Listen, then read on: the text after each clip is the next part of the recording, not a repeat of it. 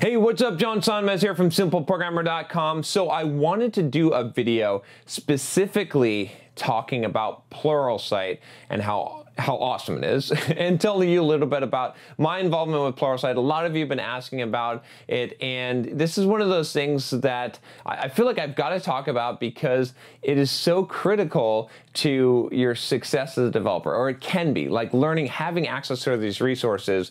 And this is one of those things I've talked about a few times in some videos, and some people have said, oh, that's that's not true. Pluralsight is not the best way to learn stuff. Learning from books is, and I understand, you know, the the argument, and I understand that learning from books can be valuable, but I also understand that with the fast-paced uh, rate that technology changes today and, and how fast that things are happening in the technology space, that sometimes having access to a lot of material that you can quickly absorb something and see someone do it is going to be more valuable than getting the in-depth kind of knowledge that you might get from studying four books on, on a subject. So I want to talk a little bit about Pluralsight. If you don't know what Pluralsight is, go check them out. This is my link to all my Pluralsight courses. I've actually done 55 courses for Pluralsight. Okay, and I haven't done any in a while, but you can check out all my courses from everything from Java to game development. Those are my, my, my favorite ones, by the way, the, the, game development ones,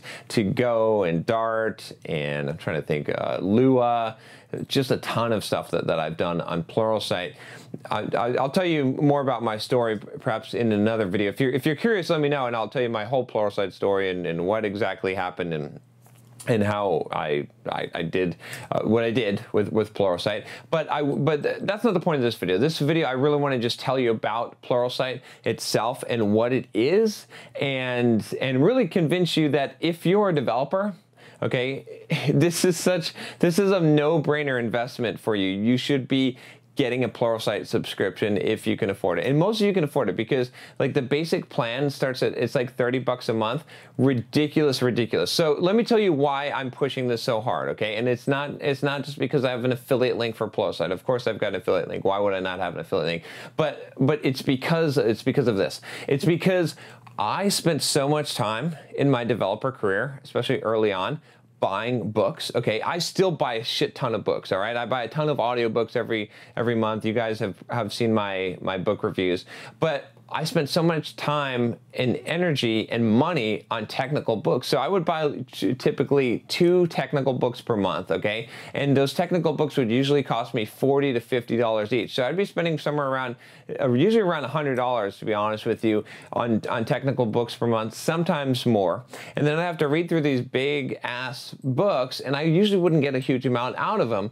So, so when I first heard about Pluralsight, I, before I even started authoring for Pluralsight, I was excited because, in fact, the, the biggest the biggest pro that they gave me when I authored for Pluralsight before I knew it was going to blow up was that I got free access to Pluralsight. I was like, oh shit, this is awesome, right? Because they had, eh, eh, at that time, they didn't even have very many courses. They had a bunch of .NET courses, but not even that many. But now they've got like thousands of courses. They combine with like digital tutor, and so they've got all these design courses as well on that side. It's like, it's like, I don't even know how many thousands of courses. It's over 3,000 courses at this point, and it's on all kinds of topics. So Again, the reason why I'm pushing this so hard is because this is just a no-brainer. Because so many of you ask me, they're like, you're like, man, how can I you know, really help myself as a developer? What's the best money I can spend? What's the best tools that I can do? You know, what's the best way? And and I, I again, I know that I'm biased. Like I'm totally acknowledging that I'm biased because of two reasons. Because one, I've I've I'm a Pluralsight author. I've done 55 courses for them. And, and two, I've got an affiliate link for Pluralsight. So I'm totally 100% acknowledging that there is some bias here, but I'm also going to tell you that honestly, as objectively as I can say it, this is the best 30 bucks a month that you're going to spend as a developer. And here's why.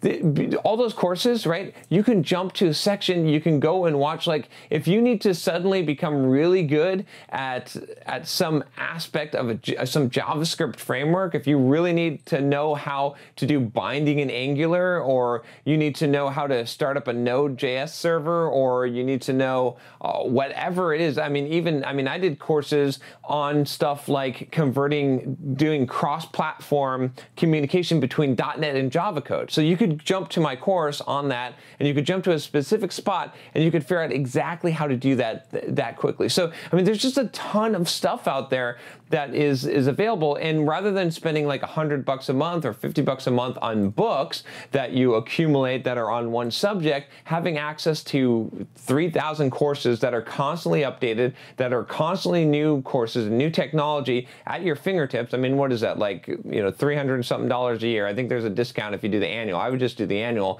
but to have access to all of that information is ridiculous, right? You can look up anytime. I know a lot of you do uh, do what is it, Safari Books Online, which is awesome. I totally Safari Books Online I think is awesome as well.